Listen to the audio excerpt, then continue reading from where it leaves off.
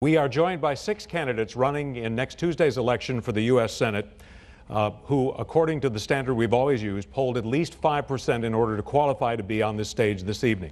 They are, in alphabetical order, Charles Boustany, Foster Campbell, David Duke, Caroline Fayard, John Fleming, and John Kennedy. Since we have so much ground to cover and so many candidates, our format uh, is this tonight. For the questions, we'll allow one minute responses. Um, candidates will take generally the same question with one round of candidate specific questions. At the moderator's discretion, there will be some give and take, but we are going to try to move this along certainly. The order of the candidate answers and the order of their closing statements at the end were each decided by separate lucks of the draw. I'm joined tonight by my colleagues from my Raycom uh, uh, media stations, Greg Meriwether of WAFB TV in Baton Rouge, Cynthia Arsenault of KPLC in Lake Charles. And the first question, again by luck of the draw, goes to Mr. Fleming from Doug Warner of KSLA in Shreveport. Uh, Mr. Fleming, uh, good evening, sir. Uh, just days ago, the White House announced skyrocketing premiums for most families on affordable health care. If you support Obamacare, and the, of course all will address this eventually, how would you propose saving it? If you oppose it, would you be uh, in favor of uh, keeping popular provisions like pre-existing conditions and insuring children to the age 26? And how would you pay for that? Mm-hmm. Well, look, as a physician, as a conservative, as someone who actually provides health care insurance through my business, I can tell you that I was there through the entire Obamacare debate. It has become an abysmal failure. It takes away the options from American people. Instead, there are mandates. Um, it has driven up the cost of care. It's taken people away from their doctors and away from their insurance companies. I believe in the American dream, where Americans can choose their own insurance, where we have a free marketplace, not only of ideas, but of things they can achieve. As a true conservative, I want to take conservative ideas, Louisiana ideas, to Washington. You know, when I was growing up, my dad suddenly died while I was uh, still in high school. I had to become the breadwinner all of a sudden. I joined the military. I uh, opened up my own medical practice, became a doctor, and ultimately created 500 Louisiana jobs. Uh, so I came through adversity and I enjoyed the American dream. I achieved it for me, and I want to go to Washington and fight for the people of Louisiana, families of Louisiana, and let them enjoy their American dream right. as well. Let's Thank go to you. Ms. Uh, Ms. Fayard with her response.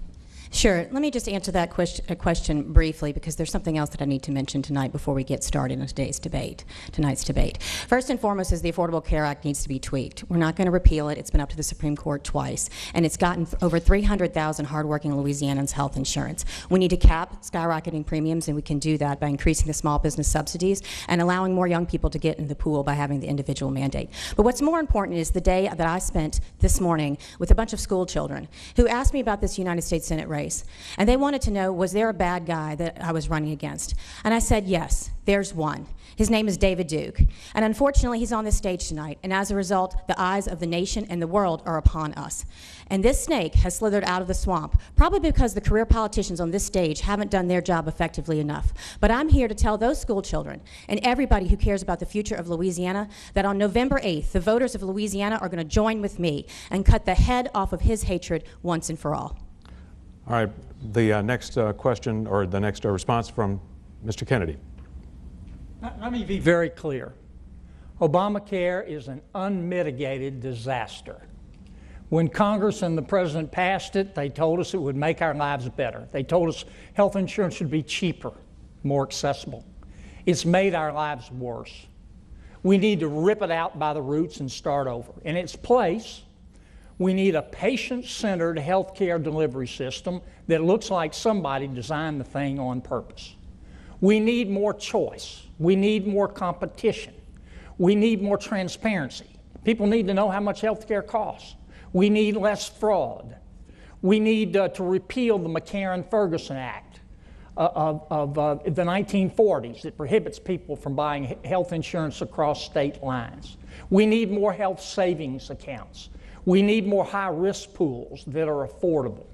We need to block grant Medicaid to the states so they can experiment and try what's, what works. We need more federally qualified health centers. We need a health care delivery system that looks like somebody All right. designed it And on Begin to wrap, please. Uh, Mr. Campbell, you're next.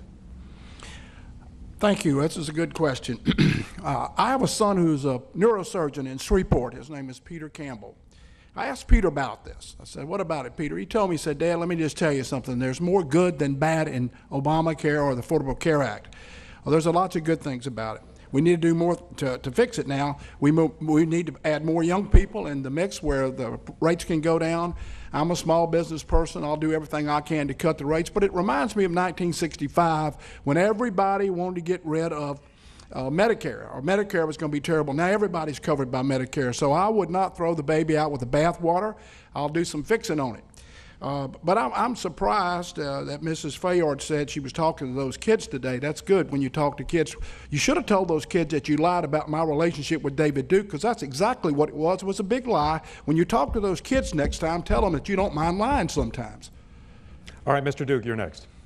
Well, I'd like to comment on Obamacare, obviously, but I would like a short rebuttal to what she said. Uh, we were said that we could have a rebuttal if somebody said that you beat your dog, and she kind of said worse than that. That's that. fine. I'll talk That- about That's fine. Foster's lies. Your- The clock is rolling, though, so go ahead. Okay, so I have a minute, and then I and then I can come back with my Obamacare question. You have one minute total, sir. Take One the minute time- total. Take the time as you please. Well, yeah, but I thought I would have a chance to rebut uh, what she said. I want to talk about Obamacare for the minute, like Let everybody me else. explain, let me explain to the panel, we're going to try to cover a lot of territory. It would Right. be an enormous disservice to the voters and to the candidates Yep. if this becomes a referendum on one candidate. You have one minute, sir. About 45 seconds left. Please go. Well, sir, I object first off because you said we had a chance to rebut if someone made a direct attack against you, and that's taking away from my Obamacare time. That's improper, and that's, this is the kind of fixed Mr. Politics we please have in this country. Please make your point. Now, I'll make the point. All right, first off, yeah, I'm the bad guy because I defend the people of this country that made this country great, gave us our Constitution and our freedom, and we're losing our rights in America. All I ever said is I say respect for all people, but also you must respect the people who built this great nation, and we shouldn't face massive discrimination. That's not a bad guy. Now, as far as Obamacare is concerned, Obamacare is actually as every program in the government, it's always the hard-working middle class who gets the shaft.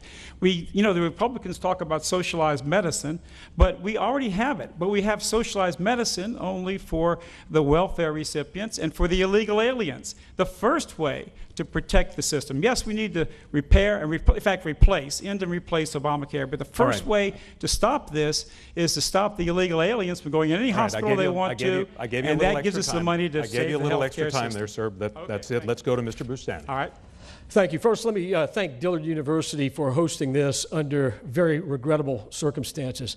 As a heart surgeon with the years of clinical experience, I led two open heart operating teams, and we actually enhanced quality, lowered cost, and, and brought both of those hospitals to top 100 status. I know how to do this. And in my time in Congress, I actually inflicted the largest repeal of a part of Obamacare to date, saving $86 billion to the taxpayer in a faulty program. Look, if you want to fix health care, Put the focus on the doctor patient relationship because that's how you get to the highest quality. And all coverage should lead to a high quality doctor patient relationship. Short of that, we're going to get something like Obamacare where everybody's upset, cost is skyrocketing, quality's suffering. Secondly, you got to have information, you have to have wide range of choices, not restrictive choices, and you need to put the family back in control, not bureaucrats and not Washington, not uh, insurance agents and others. The family should be in control of health care. Would, would you, thank you, sir, your time's expired. A quick follow-up, Mr. Boustany. Would you keep in pre-existing condition coverage, and how would you pay for it? Well, with pre-existing conditions, we actually offered a better way to do this with high-risk pools that were uh, basically funded appropriately. We believe we can take the cost out of this if you focus on quality. The, the way the Democrats did it in Obamacare is one of the most expensive ways to do this, and now we're seeing adverse selection and the cost is skyrocketing.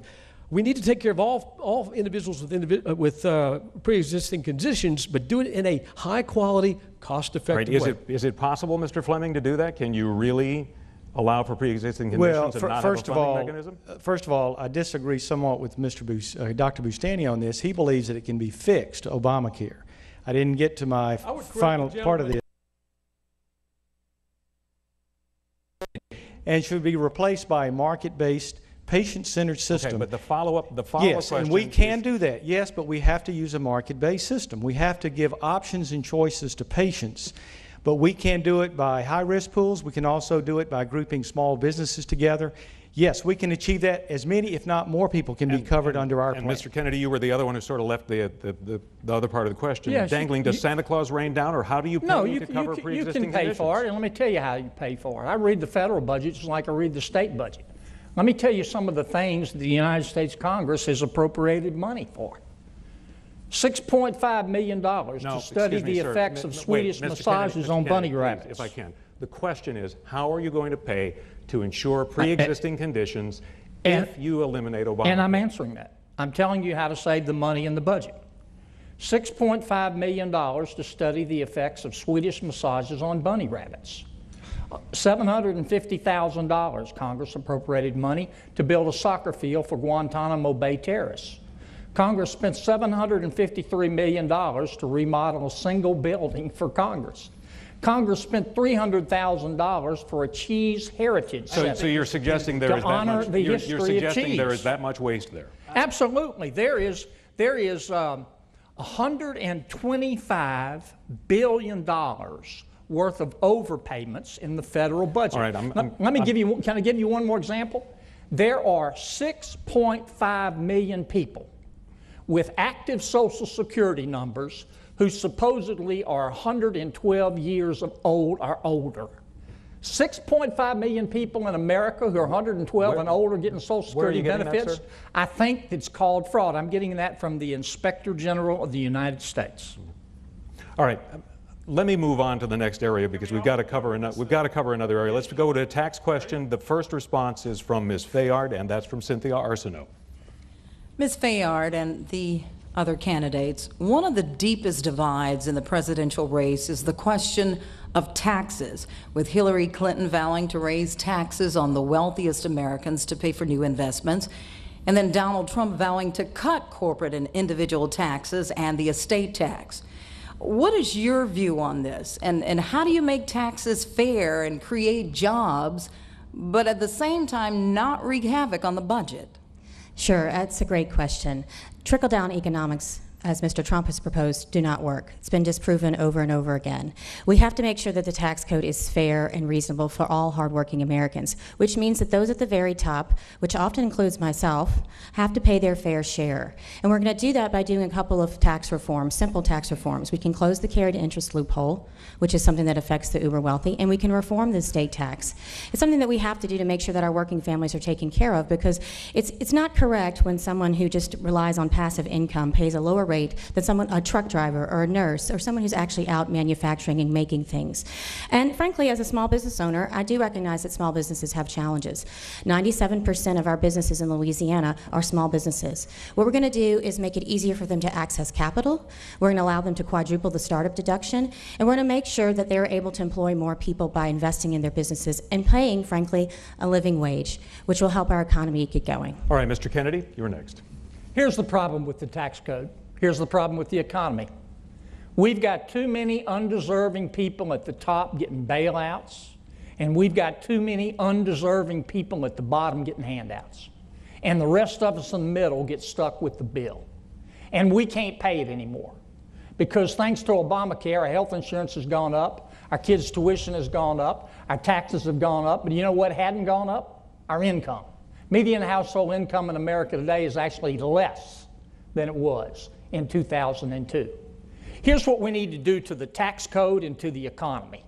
We need to help the middle class. The problem, I, I support reducing taxes across the board, but the problem with most tax cut plans is it only helps the very rich and it adds to the deficit.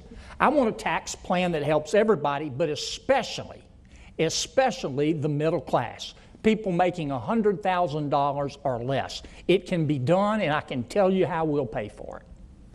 All right, Mr. Campbell. Glad you brought up taxes. I'm the only one up here that's willing to let you see how much I make and how much taxes I paid. Nobody else will do that. I've offered my taxes. I want you to take a real good look at it. I pay about 30% taxes. Nobody else wants to talk about it while we're talking about taxes. Uh, offshore, uh, big corporations have about $2.1 trillion overseas or wherever they keep it that has no taxes been paid on it. $2.1 trillion. Now we're out of balance about 500 billion a year. 500 billion a year. If we would make these large corporations pay taxes instead of moving them offshore, uh, we could go a long ways about balancing the budget and firing up our tax uh, situation in Louisiana and in the United States of America.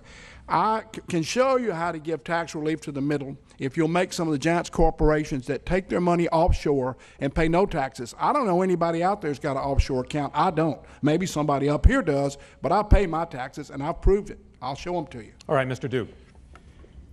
Mr. Uh, Kennedy, I'm, I'm not quite sure if your name is uh, John or Teddy because your record shows you were a massive tax supporter. In fact, you, with Buddy Roemer, supported the destruction of our homestead exemption by constitutional amendment. When I got in there, they, I was called by Shahardy and also Sheriff Lee. I traveled the state and I helped stop that amendment, which saved every one of you watching this program right now thousands and thousands of dollars if, if we would have, you would have lost if the homestead exemption, which you fought for with Buddy Roemer, would have passed. So we have to protect the middle class person, the productive person in this country. It's the same message I gave years ago, and you know what, folks? I was right. And all these guys here and, and the lady, they're all beholden to the special interests, the big money. That's who controls American politics, and that's what's got to end, and that's what you can do by voting for All me. right, thank you. I'm, I'm going to give Mr. Kennedy a chance to respond, but I'm going to continue to go in the order at the moment. So let's go to Mr. Boustany at the moment. We'll get, we'll circle back. Thank you. I chair the Tax Policy Subcommittee in, in Congress right now, and we've actually pl- worked very hard over the years talking to families across this country who understand that the tax code is unfair, it's grossly complicated, it's filled with special interest carve outs, and average families are getting hurt really bad. What we need to do is real tax reform, something that hasn't been done since Ronald Reagan was president 30 years ago. And what that's going to take is to lower the rates, simplify the code, go to a much flatter rate structure, eliminate a lot of the special interest carve outs, and uh, eliminate the, the alternative minimum tax, which hits a lot of families unfairly. We need to lower the corporate tax rate, which is the highest in the world, and is forcing jobs overseas and trapping capital overseas that can't come back and invest in manufacturing here. We have a way to do it. It's called uh, A Better Way. It's been a product of my subcommittee working with uh, Speaker Ryan. It's a really good plan.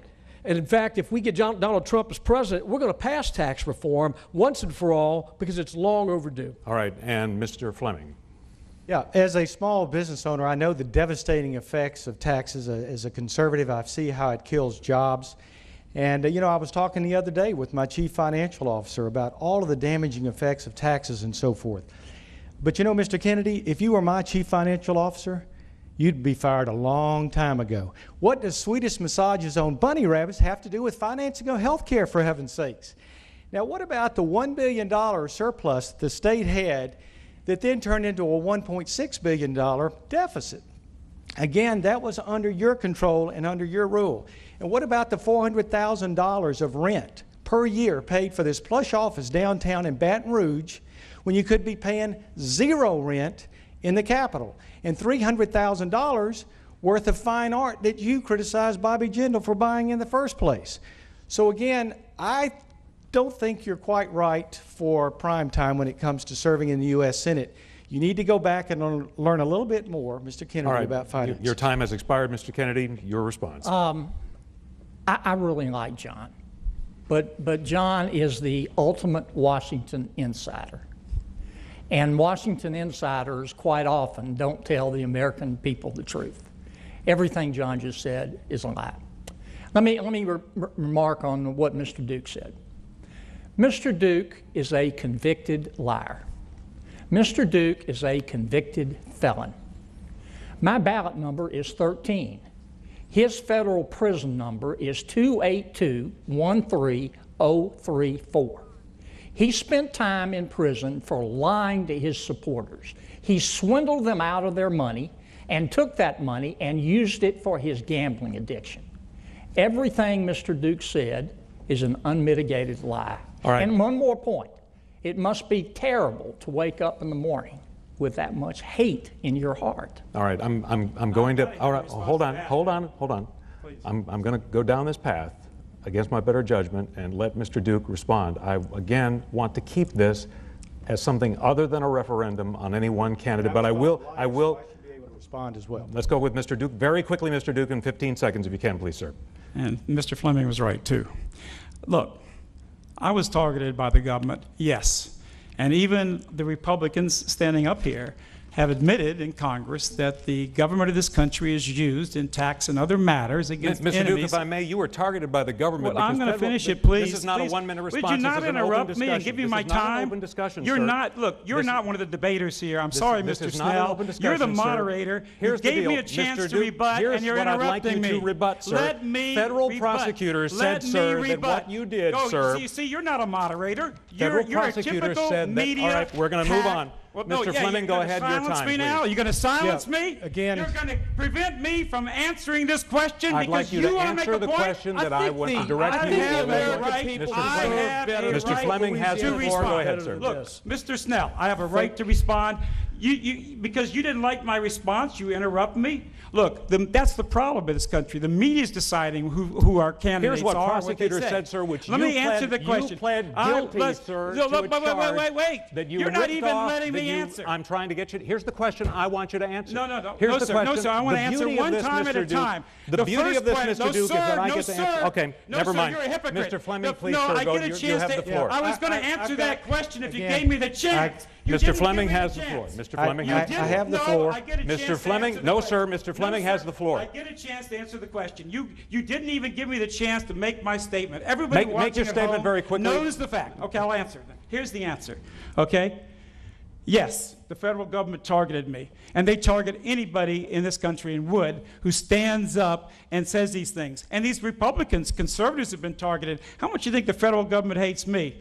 And uh, I, in fact, I've got the tax uh, form that was sent to me. They audited me, and they determined that I overpaid my taxes by $6,000. But you don't know that. The people don't know that in this state. Listen, here's the issue. The truth is that anybody who stands up in this country and tells the truth what's happening to our country, we're losing our country. Anybody who does that is going to be a target of the media, just like Donald Trump. All right, let, just got watch move on. what's happening let's, to let's Donald go to Trump. Mr. Fleming, please, quickly. Okay, now, uh, Mr. Kennedy calls me a liar rather than answering the claims.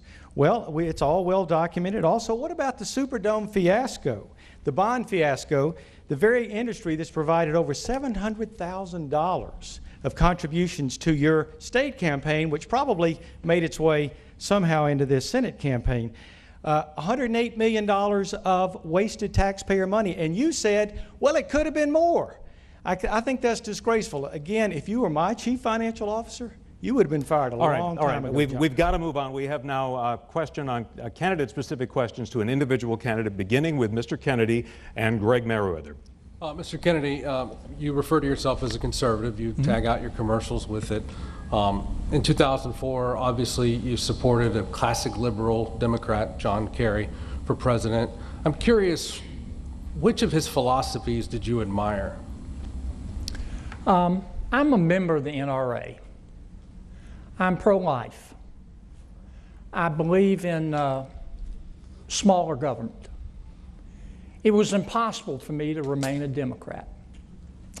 I, uh, I left the Democratic Party when it was no longer possible to be a conservative Demo- Democrat. Mr. Kennedy, Um, Mr. If, if I follow up. could, w- w- let me- we'll go ahead and let everybody have one minute on the floor on the first, and then we'll follow up. Okay, I'm, I'm, I'm- I'm trying to answer. Um, just give me a second. Um, I'm not the only uh, Democrat who became a Republican. Uh, Ronald Reagan got fed up. Governor Roemer left the Democratic Party to become a Republican. Governor Mike Foster did. Uh, Senator Bill Cassidy, our current senator, used to be a Democrat. Um, ben ben uh, uh, Carson, Donald Trump, uh, Billy Tauzin. I mean, the list goes on and on and on, and I just could no longer, in good conscience, remain a Democrat. Since we had, since we had some confusion a moment ago, if we can, Greg, let me, let me clear this up because this may be my fault. Just so everybody's on the same page here, the format is that we direct a question to you, the candidate has one minute. Then there is an open discussion and a give and take. You no longer control the floor if you, if the, if, if I believe you're not directing the question, I may interrupt you. We'll try to get everybody to have a fair shot at answering a question. Greg, you've got a follow-up. Yeah, well, I just specifically want to know, what was it about the Democratic Party that attracted you in the first place? Uh, when, when I became a Democrat, uh, just about everybody in Louisiana was a Democrat. Uh, I have always been conservative. I've always been fiscally conservative.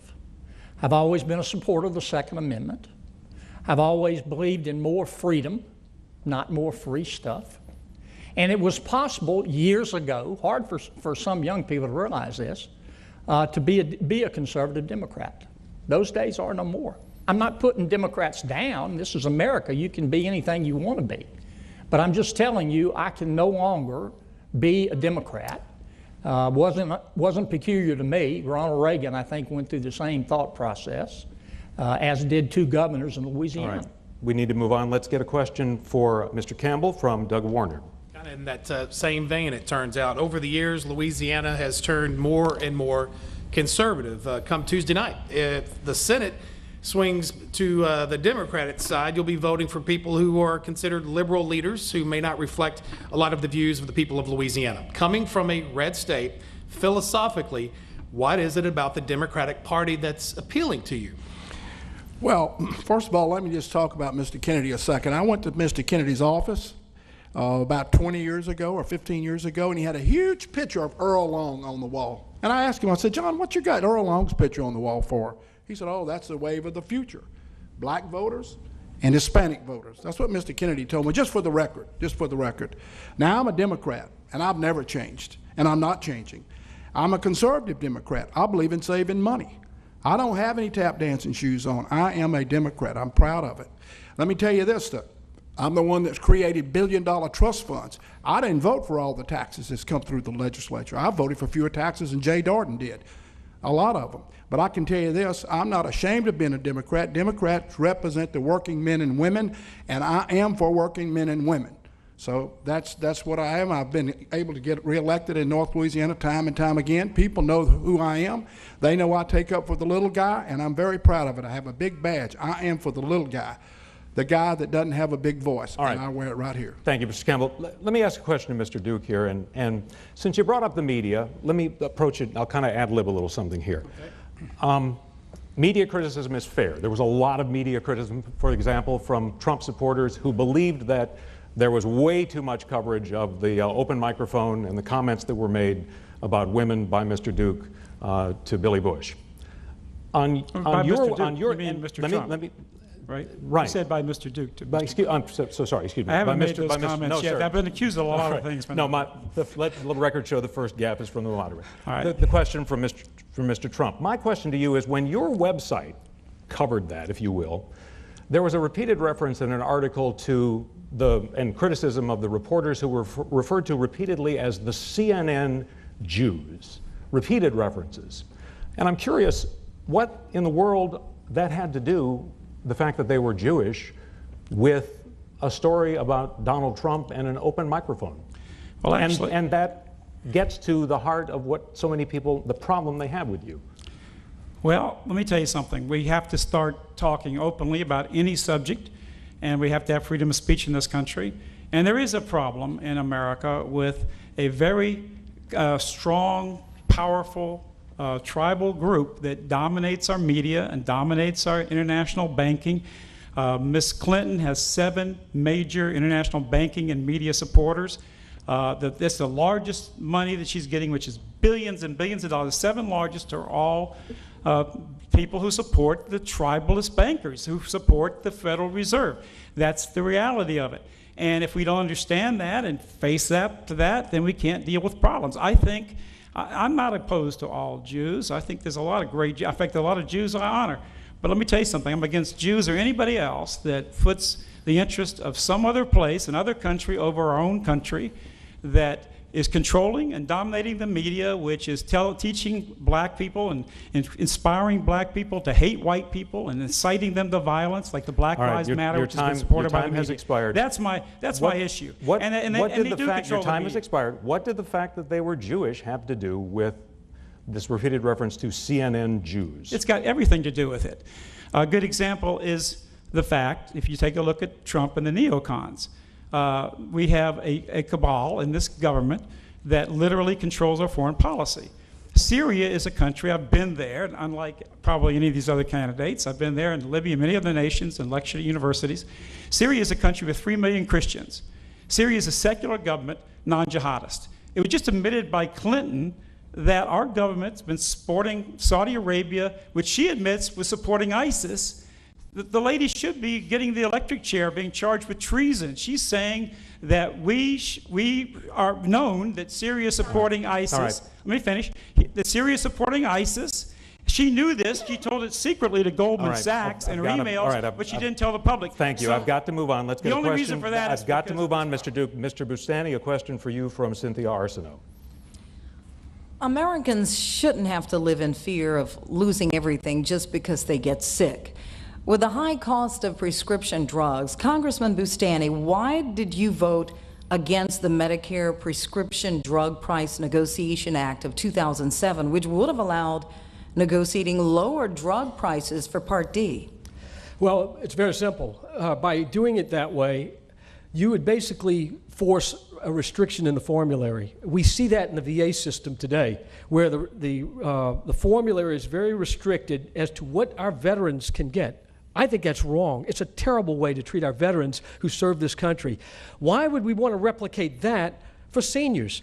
We know that the system that was enacted, whereby negotiations go on on a regular basis among the plans, has actually driven some of those costs down and actually brought the, the cost of the program down overall to the taxpayer. Now, the reason that drug prices are going up right now is because of the new restrictions that have come about because of the Affordable Care Act. What has happened is you've got empowered uh, uh, bene- uh, pharmacy benefit managers that are using rebate structures and they are ru- running up the cost. The generics have been restricted because of regulations. Ingredients in the generics are restricted. This is driving the cost. It's not the Medicare prescription drug plan, which has a very high satisfaction rate among seniors. All right, your time There's has a separate, expired. le- separate reason that Thank those you. costs are Thank you, going sir. up. You don't want to restrict All the right. formulary. Thank you, sir. Let's go to um, a question for, no, we've got to move on. Let's go to uh, Mr. uh, Fleming, a question for him from Doug Warner. Uh, Sir, uh, you weren't alone in voting against Superstorm Sandy relief package. You cited it was loaded full of uh, port projects. Now, your critics could call that hypocritical with Louisiana in uh, need of help now. Can you be as specific as possible? Can you name two projects in that bill, the Superstorm Sandy relief bill, that stopped you from voting for it? Oh, uh, look, uh, again, as a conservative, I believe that we should have direct relief for anyone who, who needs it. In the case of New Jersey and New York, there was a need for $17 billion of relief, and I voted for it when it was in the, in the House. However, when it came out of the Senate, there was added to it $33 billion that had nothing to do with New Jersey or New York or uh, Hurricane Sandy. I, my colleagues are supporting our flood relief that we're doing. So I did the right thing. I did the fiscal responsible thing. But I do want to address one more thing about Mr. Kennedy. Mr. Kennedy, the plain answer to his question is he switched parties when this state became a Republican state. Uh, he endorsed John Kerry in 2004 for president, one of the biggest liberals there is. He opposed the Bush middle tax, class, uh, tax cuts and he supported a gun ban. So I don't know which uh, Mr. Kennedy we're talking to tonight. If we switch back to Democrat Party, will he switch back as well? A very, very brief response. The, the, the brain is an amazing organ. And don't call me a liar, please. It's, the brain is an amazing organ. It starts working in the mother's womb, and it doesn't stop until you get elected to Congress. Now, I think I've answered John's question. I like John, but John is the ultimate Washington insider. He's been there for four terms, he's changed nothing. If you haven't changed anything in four terms, it's time to move on. All right. The only thing And he wants to move speaking- on to Let me just is the United He's States been in Senate. politics over 30 years, and he hasn't changed All right. anything in I politics. think, I think you he both made, the I think you insider. both made your point. Thank you, gentlemen. Uh, Ms. Fayard from Greg Meriwether. Uh, Ms. Fayard, uh, you and Donald Trump apparently have something in common in this campaign. You've both lost endorsements for something that you said or stood by. Um, I think people on both sides have said one of your main ads purposely pulls Foster Campbell out of context uh, when he was referring to David Duke. Uh, my question is, speaking specifically to your ad, what did Campbell side with Duke on? So thanks, Greg, for that question. I'm glad to finally address this. First off, let me say that nothing in that ad is untrue. Foster may not like it, but it's because he can't explain it. And frankly, neither can I. There's no context in 2016 is it, that it's ever acceptable to have a conversation in either a private or public forum, as this was with a white supremacist, and then have a handshake that solidifies that. And this has happened multiple times on the campaign trail. I also find it laughable that Foster sets up here and talks about what a good Democrat he is. But the crux of that ad is that he refuses to even say Secretary Hillary Clinton's name when given multiple opportunities. You know, this is what people do not like about career politicians the flip flopping, the tap dancing. Foster will say something like he's in nobody's shirt pocket but the people's. But the truth of the matter is, he's lined his campaign contribution coffers with people who give money that own the companies that he regulates, like the Wash- Greater Ouachita Parish Water Company that right now spews brown water into people's faucets on a daily basis. But Foster continues to take money from the president of that company, does right, nothing you're- about it. you- thank you, your so th- there's nothing in the ad that's untrue. And All I would say that there's no context in which it's acceptable to have a conversation, whether public or private, with someone like David Duke. All right, let, let's move on. Let me give, hold on. I think it was really uh, directed to Mr. Campbell more than anyone else. We've got to move on, gentlemen, please. I'm in the middle of this too now. Well, I'd, I'd like to uh, answer that, if I could. Yeah, I'll give you quickly an opportunity. Well, first of all, it is a, it's a damn lie. It's not just a lie. It's a damn lie. Uh, I have nothing in common with David Duke other than we're probably breathing. That's uh, what I have in common with him. But let me tell you what other people think about it. Governor John Bell Edwards just released a deal a while ago saying that he supported me, that she should have never said that. Uh, Senator Wesley Bishop uh, said that it's ridiculous. Uh, a lady named uh, Felicia Kahn, a leader in civil right. rights in New Orleans, said it was Campbell, ridiculous. I've- It Mr. is Campbell, ridiculous. got she knew it. She's doing anything you, she sir. can to win. Thank you very She's much, sir. losing, Thank you, and sir. she'll I've do got to move on. anything Let's get a question about. Social Security from Cynthia Arsenault. Certainly, certainly, I've been called a supremacist. I have a right to respond to that kind of attack. Because that's a typical attack that I get by the media. I'm not a supremacist. I believe in equal rights for all. The problem they have with me is I believe white people also deserve human rights. They shouldn't face discrimination in jobs, promotions, and scholarships. And we have a media that puts out hate propaganda against white people and tries to incite Okay. hatred in black people across America All right. against white people Thank and you. against I've- police I've, officers. I've got to move on, everybody, or we won't get some more ground. Can A very on to our important next question on Social? Security from Cynthia Arsenault. If something doesn't change by 2030, the Social Security Trust Fund will be in big trouble. Social Security benefits could be cut by 25%. How would you deal with this? By raising the retirement age, or would you consider eliminating the payroll tax cap so that the wealthy will pay more into the tax All right, system? and we go first to Mr. Campbell. Mr. Campbell? Mr. Campbell? the You- You're up here Security- first, sir. Okay. Would you repeat the question? Certainly. We all know that Social Security is in a crisis situation, and if we don't do something about it right now, by the year 2030, the Social Security Trust Fund could be in big trouble with benefits being cut by as much as 25%. How would you deal with this? Would you raise the retirement age, or would you consider eliminating the payroll tax cap so that the wealthy is putting more into the system? Let me talk about Social Security anyway. It was uh, formed in 1935 by Franklin Roosevelt, uh, and all the Republicans were against it. They were against it, said it was terrible. Well, it, it's, I think it's good, and a lot of people have paid in, and I want to make sure they get their benefits from it. I might would look at a payroll tax uh, cap, removing it because, wha- uh, or uh, exempting it for a while, or move it up where wealthier people pay more. Uh, today, they don't pay as much or proportionally as the average working folks. I would might look at that, but there's one thing for sure. I'm on Social Security side. I'll do everything I can to keep it. There's no way in the world that I want to see anything done with Social Security or Medicare. Two things that Democrats passed and Republicans both opposed. All right, let's go to Mr. Duke next. Social Security, sir. Oh. Well, first off, this is a good example of the screwed up nature of this controlled economy and this controlled government in this country. Anybody who pays into a program deserves to get back what they paid in. And Social Security has been robbed by the politicians in terms of the welfare system, including a lot of people in the welfare system who are not there because they're needy, it's because they don't want to work. And that's the reality. There's a lot of people who don't take responsibility for their lives. Those who need help, I'm all for that. And we have to protect the Social Security system. And absolutely, this is what's got to come first. Secondly, we have millions and millions of illegal immigrants never paid a penny in taxes, getting huge amounts of Social Security. A majority of them actually end up on the welfare rolls, and yet we can't pay our elderly what they deserve for a lifetime of work and paying taxes. we right. have crisis with property here. 15 seconds. With cri- crisis with property here in Louisiana, where a lot of people are losing their house for good. But this government's building houses all over the world in other countries for people. It should be the American people who are taxpayers and work hard. They should get the first release. America first. All right. Thank you, Mr. Duke. Mr. Boustany, what do you do about Social Security? Well, Social Security is a very important trust, a very important promise for seniors to keep seniors out of poverty, and we have to do everything we can to save it. Here's the problem the way it's structured is current workers pay payroll tax that covers current beneficiaries. And when the program was first put in place, we had many, many more workers for each beneficiary on Social Security.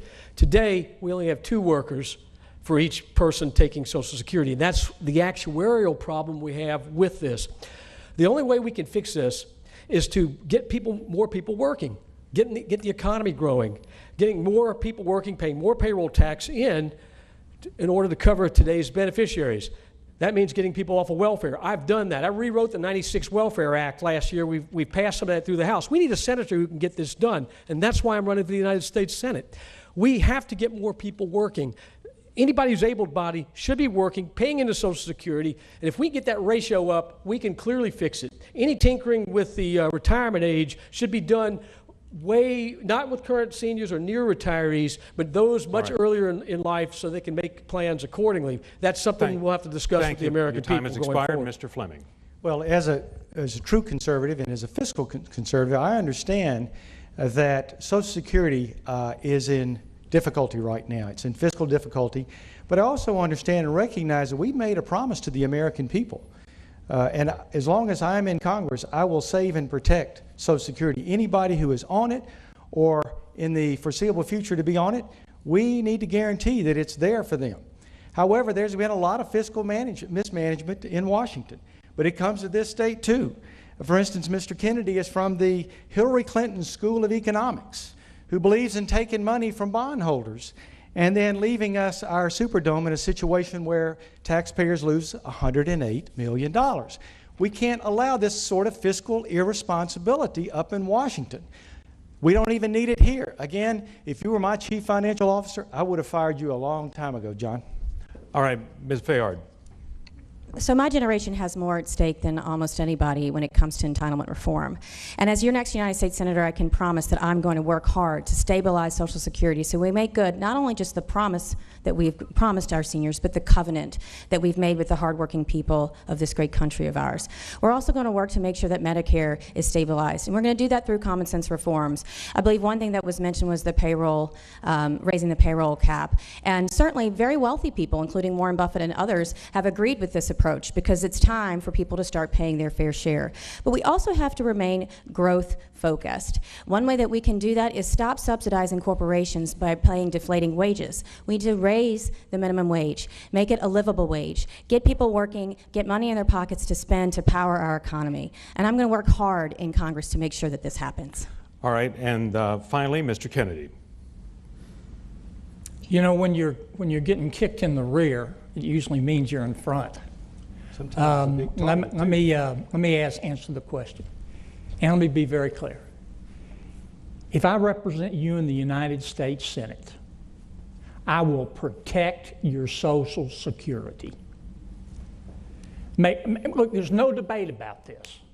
People deserve to get the Social Security they paid for. You know why Social Security is in trouble? I'll tell you why. Because President Barack Obama and Secretary Hillary Clinton, when she was in the Senate, and the Ritz Carlton Democrats and the big government Republicans stole the money out of the Social Security Trust Fund and spent it on something else. If you go to the Social Security Trust Fund, you know what you find? You find the big old IOU. Now, let me tell you where you get the money instead of raising any kind of taxes. Number one, we spend $157 billion a year of your tax money at the federal level on consultants. Get rid of 20% of them, we can save 30 billion a year. We got 2.7 million right. federal Your time, employees. your time has expired. I We was about to make a great point, have- I'm sure you were, sir. Greg Meriwether's got a very quick question on the Supreme Court. Everybody's got 15 seconds to answer it, or we won't get to closings. Uh, let's go with Mr. question, we gotta Boustany. Mr. Boustany first. And, and about these crazy Mr. wars in the Boustany first. East You can make it on close. We're running out of time. Please, Mr. Boustany. Do you share, a do you have to share a belief system on a certain set of issues to approve a Supreme Court nominee? And what's an issue-specific question you would want to ask a potential Supreme Court? In 15 justice? seconds, sir. First of all, do they respect the Constitution and the separation of powers? I do not want an activist judge. I want judges who basically uh, inter- adjudicate on the law as it exists. Secondly, honor the Second Amendment. And thirdly, pro- All right, pro-life. Mr. Campbell, quickly, please. I think Congress uh, or the Senate ought to do their job. Anybody that gets nominated, whether it's a Republican president or a Democratic uh, president, deserves a vote. But I would make sure that this nominee or this man, the future uh, justice, All right, we've got, we've got to move on, please, sir. Mr. Duke next. I will be Donald Trump's most loyal advocate to make sure his nominees go to the Supreme Court. And if by chance he's not elected, I think he will win. I hope he does win. I will absolutely oppose any of, of any of these uh, nominees of Hillary that are trying to destroy our Constitution Thank Constitution you. and We've got destroy to go, this Ms. Fayard. Sure. Uh, the Senate needs to do its job under the Constitution and provide advice and consent and hold hearings so we can learn more about the nominees. And I, my number one criteria for any Supreme Court justice is be that they respect the Constitution. I, I will only confirm strict constructionists like Scalia who are 100% pro-life, 100% Second Amendment pro-gun, and absolutely conservative. All right, and uh, Mr. Kennedy. The uh, question I'm going to ask a potential nominee is whether he or she agrees with, the- with the uh, views of Justice Scalia. And if the answer is no, I'm not going to vote for the nominee.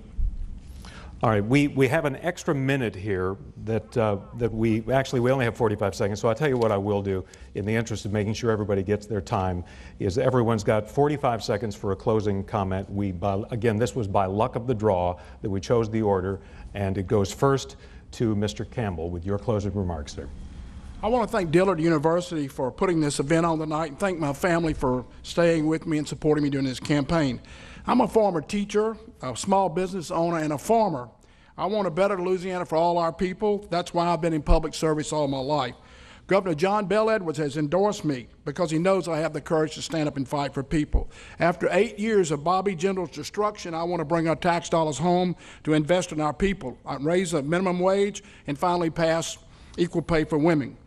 I am asking for your vote because I want to be a voice of the people, not the powerful. God bless you.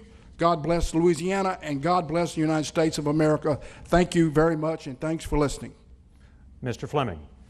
Well, thank you for having us uh, here tonight. I am the one true conservative here tonight uh, among all of these candidates. Um, I uh, want to go to Washington, take Louisiana values to Washington. I grew up in a home in which my dad died suddenly while I was still in high school. I became overnight the breadwinner for the family. Uh, I uh, joined the military. I became a, a doctor, and I created 500 Louisiana jobs. I came through adversity to develop, to enjoy, to promote my American dream. And now I want to go to Washington, to the U.S. Senate, to fight for Louisiana families and your American dream. All right, Ms. Fayard. For those of you still watching tonight, you just have to ask yourself one question. Are any of the men on this stage truly going to change Washington, D.C.? It seems, in my estimation, we've got two current congressmen, both of whom are doctors, that are part, because of their offices, part of the cultural corruption in D.C. right now. We also have a state treasurer who pretends to be more like a publicity hound and has never met a check that he won't sign with your money. We have Foster Campbell, who spent four decades stomping around this state as a chameleon, not knowing which way his tap dancing shoes are going to take him. And we have a snake in David Duke. So truly, if you're focused on the past, you've got a lot of choice this election. But if you're focused on the future, you've got one. It's me, Caroline Fayard. I'm not a good old boy, and I'm not beholden to any special interests. I know no favors except to the people of Louisiana. Let me work for you in the United States Senate. I'll work for you and your families on equal pay for equal work, raising the minimum wage, and making sure our oil and gas coast gets working again. Thank you so much. Mr. Kennedy. This election is not about me, and it's not about any of my fellow candidates up here. This election is about change. Now, you either like the direction that the Washington insiders have taken America, or you don't. I don't. Here's our chance to fix it. With respect, you can't fix stupid, but you can vote it out. Send me to the Senate to fight for you. I will not let you down. My name is John Kennedy, and my ballot number is 13. God bless you. All right, Mr. Duke. You know, the best way to tell who's an insider and who the the, the big boys, the, the powerful bankers, and the other people who are controlling this country, and they control most of campaign money, is look at their campaign bank accounts. I'm the only candidate in this state and this stage that has not taken a penny in PAC money, a penny in special interest money. I'm going to represent you. And notice something. There was a demonstration out here against me by the Black Lives Matter radicals. Why is that? They, they weren't demonstrating, they don't even know the names of these other guys and lady or a woman. But why? Because I stand up for you. The Black Lives Matter movement calls for the murder of police officers. They say, death to police and kill the police. I defend you. I defend police officers. I defend our country from these radicals who are destroying America. And it is time we stand up now. This is the tipping point. We're getting outnumbered and outvoted in our own nation. Unless we stand up now, our Thank- children have no you, future. And finally, uh, Mr. Boustany. My name is Charles Boustany. As a heart surgeon, I have the trust of my patients. And serving the 3rd Congressional District of Louisiana, I'm a conservative who's actually gotten results.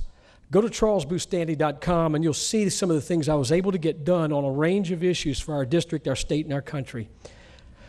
November 8th is coming, and you're going to have to ask yourself who do you trust to represent us in the United States Senate?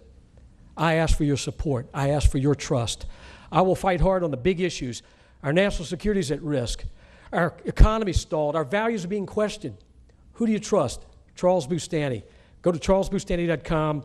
I'm number two on the ballot. I ask for your support. Thank you. All right, um, candidates, forgive me, um, this is on me because we have four networks we're trying to join. I made a timing error. So we've got about 45 seconds left for everybody's answer. Let me throw one out, starting with Mr. Kennedy. We'll go down the row, and that is this question. If your candidate for president doesn't win, would you see your role as compromising or as standing your ground and preventing their agenda? I have 45 seconds. 40, 40 seconds, sir. I- If I'm supporting Donald Trump, uh, if Donald Trump doesn't win, I suspect President, uh, our President of the United States will be Hillary Clinton. I mean, no disrespect to saying this, but God help us. Um, I, I'm go, I can work with anybody. I've got the legislative record to prove it. But uh, I have principles, and I'm not going to sacrifice those principles. Now, the first thing I'm going to do uh, when I get to the Senate is ask every one of my colleagues, Democratic and Republican, let's go to lunch, let's go to dinner. I don't want to just meet them in their office. I want to break bread together. Maybe it's a Louisiana thing with the food. And I want to understand them, what their motivations are, what their interests All right, are. thank you, sir. Um, Mr. Fleming. Well, I have to tell you, as the one true conservative here tonight, uh, the American people are, are over the moon angry at what's going on in Washington. Washington is rigged. We know this. We see what's happening with Hillary Clinton uh, and others. So, look, as co founder of the House Freedom Caucus, as somebody who stood up to my own party leadership as well as Democrats, I'm going to fight for what's right. I'm going to fight for our constituents. I'm going to fight for our principles, our conservative Louisiana principles, no matter who is president of the United States. All right, Ms. Fayard. I'm always going to put the interests of the people of Louisiana first. I'm not going to be trading on partisan political ego. I'm going to work hard with anybody who wants to make sure that the American dream remains bright and beautiful for all. Mr. Duke. Fleming's right, it is rigged, and he's part of it. All these Republicans and Democrats are part of this system that's destroying this country. If you want another 40 years or 50 years, I don't think we have that much time in America, of destruction of all of our American values, our principles, our freedoms, our rights, our prosperity, then vote for one of these people. If you really want some real change, not somebody who's going to work with Miss Clinton if she gets elected, but will fight her every step of the way and stand up for you. Stand up for your family and your heritage and your freedom and your prosperity in this country. If that's what you want, if you want a real change, you know who to vote for. And it's me, David Duke, for U.S. Senate. All right, Mr. Campbell, your response, please. Sir, would you be, the question again to remind everybody at home is if your candidate for president were not elected, would you see your role as being a compromiser, or would your more important role be to block, obstruct most of that person's agenda? What he just said is what's wrong with Louisiana. We've had enough David Vitters who had no friends in the legislature and had one friend in Washington who fought everything. We're a poor state. Of course, I will work with whoever gets to be president. I owe that to the people of the state of Louisiana. We need somebody to help this state. We're a poor state, fighting people all times. When they're right, you fight them. Doesn't do anything. Doesn't do anything. I will fight for the people of the state of Louisiana to make sure we get out of poverty, make sure we have better schools, better roads, you name it. I'm on the people's side. Yes, I will use good common sense in doing the right things for Louisiana. And Mr. Boustany. Well, I support Donald Trump, first off, and I hope he wins. But let me say this judge me by my record. I'm a conservative who gets results. I've actually gotten legislation passed that solves problems. I've worked with party leaders, I've worked with the opposite party as long as it didn't violate my principles. When John Boehner opposed me on getting two new veterans clinics, I won, and those veterans clinics are under construction today for our veterans who serve this country. At times, we have found ways to work together to solve problems, such as revamping our customs laws to take care of the seafood industry that was being hammered by foreign seafood uh, producers from China and other places. We solved that problem. It became law in January. I'm a conservative who gets results. That's what the people of Louisiana are looking for in the gridlock. Let's solve problems. Let's really get this country back on the right track. And that's why I'm asking to be your next United States Senator. I'm Charles Boustany. Does it, everybody, I don't know if um, we- we've got about a minute left here. Let's just go down the line here. Mr. Kennedy, who are you voting for for president? I'm voting for Donald Trump. Um, how long do I have, John? Pretty much. That's seconds. it? I'm voting for Donald Trump. All right, Mr. Fleming. Uh, Donald Trump. Secretary Hillary Clinton. I'm voting for Donald Trump because he's the only guy up there that's really fighting against this rigged system. And I'm going to be right there fighting for him as well and fighting in the U.S. Senate for you. All right, Mr. Campbell. The Democratic nominee, Hillary Clinton. All right, thank you, sir. And finally, Mr. Boustany. I've already voted for Donald Trump because I'm very concerned about who will name the next bunch of Supreme Court justices and lower court justices. That's why I supported Donald Trump. All right, candidates, I really thank you very much for indulging me there at the little at the end, whereas we try again to get this to work for four different uh, television networks across the state. It's a little difficult to time it out. It's not like the Presidential Election Commission where you just kind of wrap it all up. So I, I genuinely, um, I genuinely appreciate your patience there at the end. Thanks to Cynthia Arsenault, Doug Warner, and Greg Meriwether, my colleagues. Also, we want to thank Dillard University for uh, hosting us here this evening. And reminder, Election Day is next Tuesday. It's not Saturday. We're not always used to that, but a presidential election, it is next Tuesday. I suspect that we'll see two of these folks up here uh, in a month or so uh, as we prepare for the runoff. Look for the results on, uh, by the way, your local Raycom media station. Thank you so much for watching, and good night.